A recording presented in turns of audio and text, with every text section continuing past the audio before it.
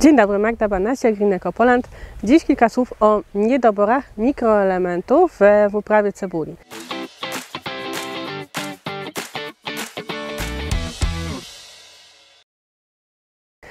E, czasami możemy faktycznie spotkać objawy niedoborów e, mikroelementów. E, najczęściej jest to niedobór cynku. To jest takie charakterystyczne skręcenie się szczypioru.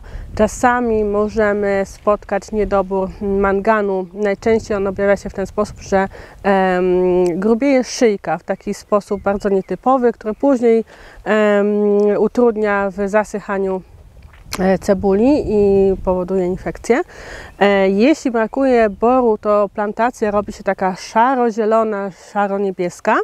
E, natomiast ostatnio spotkaliśmy na plantacji niedobór molibdenu. Objawia się on w taki bardzo charakterystyczny sposób, ponieważ wzdłuż blaszki liściowej pojawiają się takie małe wgłębienia.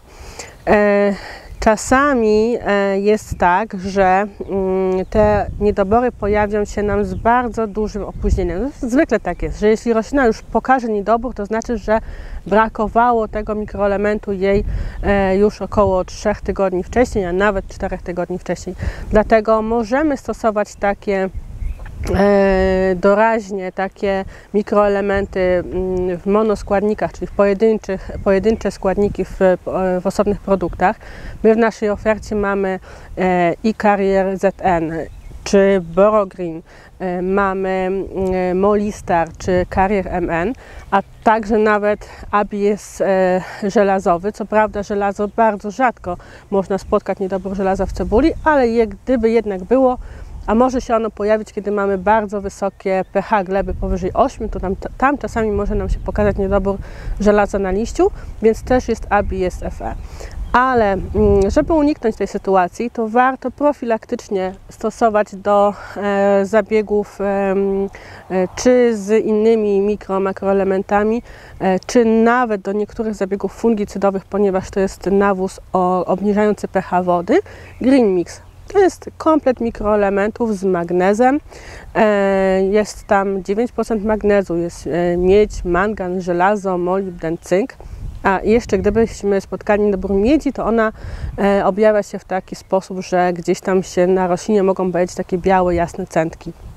Więc żeby zapobiec już takim sytuacjom, kiedy roślina nam pokaże taki niedobór, to warto wprowadzać do nawożenia właśnie Green Mix. On nam reguluje mm, e, te wszystkie mikroelementy, dostarcza je stopniowo z każdym zabiegiem.